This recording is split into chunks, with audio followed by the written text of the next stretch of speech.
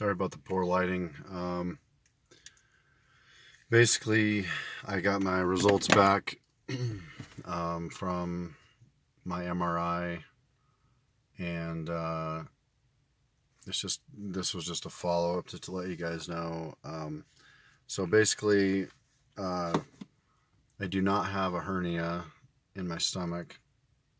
Um, I have a hernia in my lumbar I believe that they said an L six or seven. Um, they said that uh, I have bone spurs uh, and pieces of bone, like bone grinding and stuff like that.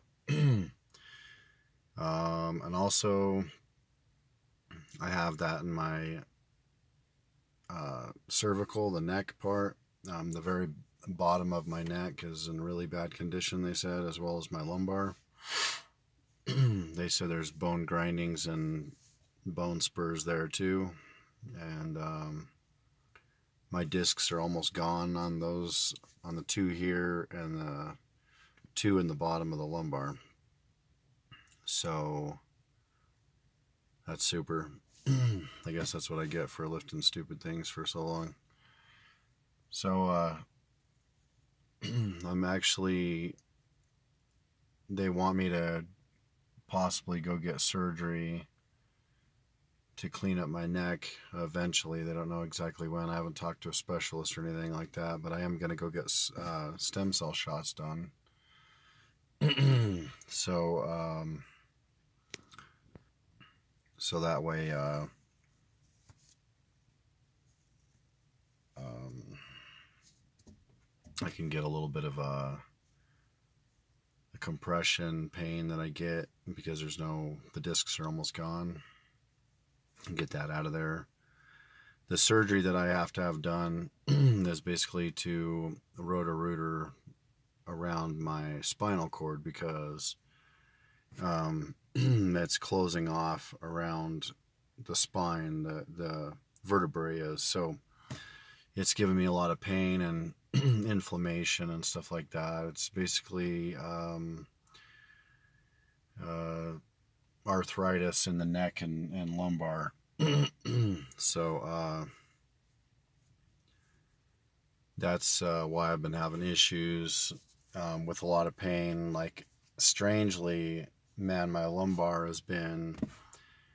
I've been trying to do incline push ups and it's given me that that crazy numbness, that feeling that I haven't felt in a very long time in my neck uh, and my back now, you know, from, and I don't know why it all of a sudden just started attacking me, you know, but uh, on top of it, on top of the the nerves getting closed in on and the spinal cord getting closed in on, kind of gives me claustrophobia. But anyway, besides all that, uh, I'm looking forward to uh, getting the stem cells shots done because that's going to take away a lot of pain. But I still have to get the the bones uh, ground out around and vacuumed up. Whatever they do, suck all that garbage out of there. That's it was caused from accidents at work and so on. so, um, and I think that's pretty much. Um, pretty much it as far as like uh, no I'll, i also have um, wear on my hip sockets and uh, in the sacral i think it's called sacral of the the bottom part by the butt the bones there. They're having issues as well. Um,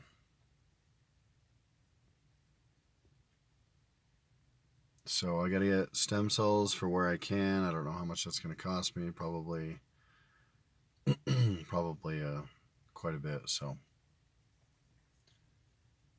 but I know that stem cells are pretty freaking awesome that way. So everything I've read is really good on them. Um, so I should be feeling like a brand new person after I get it done. I I don't know how long it takes to to heal up a disc or whatever, but um, I'm pretty excited about it and nervous. Uh, I'm trying to go through East West Health right now. I heard that they um, they actually like do some kind of a program like where you can uh, you can pay payments or something like an in-house type loan or something which that would be freaking awesome man because uh, it's hard to come up with like five thousand dollars to get something done like that you know it's uh, but I can definitely pay payments like you know like like I do for a car payment or whatever so um, that'd be awesome but anyway um, my training has been modified a lot and I've, I've had to change it up because of all this damage and all this stuff that I've that's happened to me. So um, I also found out that I'm a few points away from type 2 diabetes.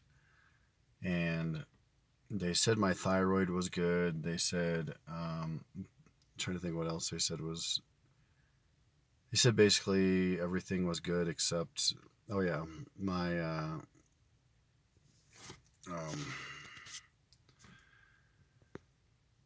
my kidneys i have type or um, i have uh, stage one and it's advancing close to stage two um, kidney disease and that's caused from uh, ibuprofen. So that's that was freaking awesome that they told me to get on high amounts of ibuprofen to get rid of this. And uh, they didn't tell me that I was going to have kidney disease from it. And then like a year later they're like oh by the way it causes kidney disease. And then a few months later I got they said I had kidney disease, and I'm like, oh shit, I don't know what that is, you know, entirely. And the guy's like, oh, it's. He said it was not a big deal um, right away, but then I looked on online, and it seems like it is a big deal. So I'm a little bit nervous, you know. Uh, I don't want to. I don't want it to go to stage two. I know there's five stages of it, and uh, so I've been I consume cranberries um, uh, once to twice a day, and uh, I've been backing off my red meat, even though like I've had people say, like the carnivore people say that red meat doesn't damage kidneys, um, but there's an overwhelming amount of evidence saying that it does. So uh, I would hate to be wrong and go just jump right into stage two, you know, and it's kind of scary because I was on a high amount of meat for a long time. They said that my kidney disease is from my ibuprofen, but um, I don't know. I'm just uh, I'm nervous, so I've been. Uh, I got I for a month around my birthday. I ate freaking, uh, I ate some cake and ice cream, and uh, I went from not being pre-diabetic, like right on the border of almost being pre-diabetic, to being almost type two. So it sucks because my I have a family history of it, and my family history is also to eat bad. So you know, not only is it you know in my possibly in my DNA, but it's also possibly in my well, it was it was on my mom and dad's both sides have diabetes and then so and then the diet that we were taught to eat, you know, when we were young, you know, and and you don't really realize too, you know, like cuz you're you're start drinking energy drinks and Mountain Dew just to stay awake because you start working more hours. It's your job, you know, and then pretty soon, um, you know, you've put in, you know, in, in a 12 hour period, you've probably drank like three to six soda pops, you know, tw- cans, and then maybe a couple energy drinks, you know, to get that buzz going. and uh, yeah, it took its toll on me, and I didn't even realize it. So I'm surprised I didn't just turn type 1 diabetic. There was a couple guys when I worked at Halliburton that actually became type 1 diabetics where they have to give themselves shots. I mean, they were just hammering their body so much. And honestly, I don't know how mine didn't turn either because I worked four extra days, which is 48 hours total um, extra in a month. Um, uh, on top of drinking three energy drinks and six Mountain Dews a day every day that I worked, which was 10 days straight, four days off. And, uh, and I ate high glycemic carbs, uh, bread, you know, potatoes. I think that's why I'm so touchy now, you know, it's like, uh, my body's had enough of my shit. So it's, uh, you know, my body's like, oh, I'll just drop over dead if you don't watch it. So, you know, with my kidneys, my diabetes, my spine, man, it was, uh, it's been difficult dealing with that because, you know, my, my legs are giving out a little bit, you know, when I, when I go to do something, that's why I was, that's why that and then my neck that's why i lost so much of my deadlift and my squat was um was due to that so but um on top of all that crap you know uh my dog pickle the bulldog uh lappaha blue blood bulldog he's got a tumor growing and uh it's so big I mean, it's been growing and it grows super fast. Tumors grow really, really fast. So this thing grew and it was just a little lump and he got his freaking uh, cone off and he chewed it. Well, when he did that, he split it open and this garbage started draining out, which is nasty as hell. And so I've been cleaning it with these chlorohexa wipes or whatever. I think it's what that's what it's called. Um, they're pink surgical cleaning stuff, and I've been cleaning it. And this tumor, it's like, it, it's just extremely gross. You know, it's like a, but the the vets already they cut it off three times, and they don't want to cut it off a fourth time.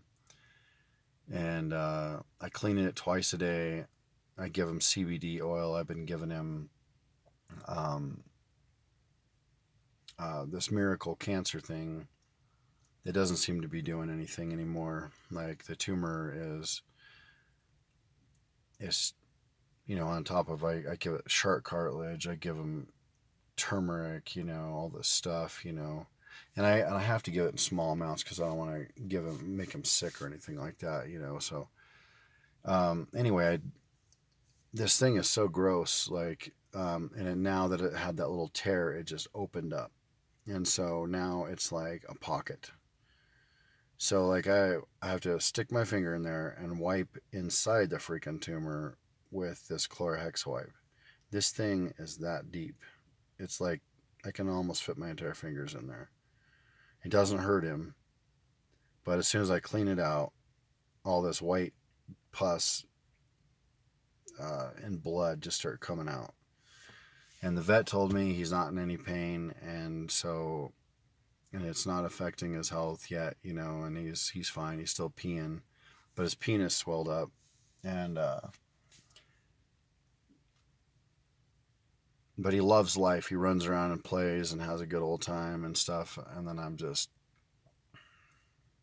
it's really difficult to put him to sleep, you know. I just I go out every day and I just look at him and hold him and pet him and we play tug of war and we walk around together out here in the yard and uh, nobody's ever treated him good. He's never had anybody that treated him good. He's never had a good owner until he came here. And he's just had like a, we've only had him for like three or four years now. And, uh, It just upsets me that there I didn't have him since he was a puppy, you know. But I'm glad I rescued him and gave him a good life. Um, he was a damn good dog, a really good dog.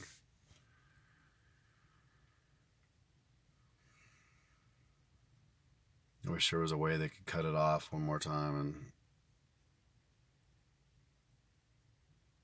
it's just uh, I hate seeing him go through that shit all the time. That tumor is big already. It's he had this huge piece like on the other side of his gut. It was like this freaking big, like a mass, but it was like that thick. It's like a half a brick. I ain't even joking you. And the other side, it was weighted down too. And I started giving them all this medicine and herbs, and they shrunk. The the one that was big like a brick shrunk down, and then it shrunk down even more. And then the one on the other side where the tumor is, where he fucking took his cone off and chewed.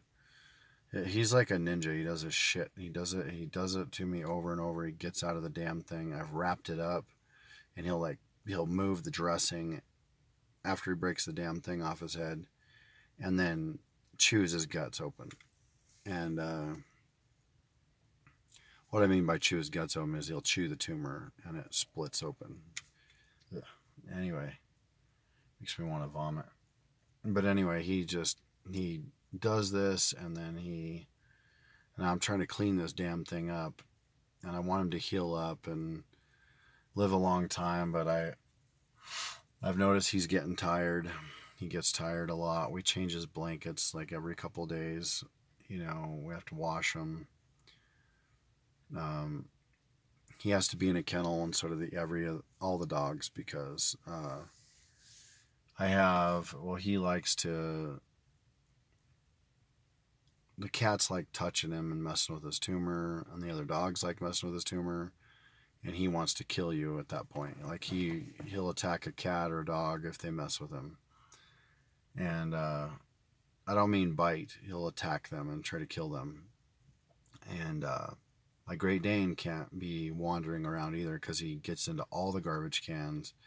He gets into all the cat litter and he'll eat the poop all over and drag it and slop it like just shit, literally cat shit all over the fucking house and uh, we made the mistake of letting him stay out um, like three times because we felt bad for him.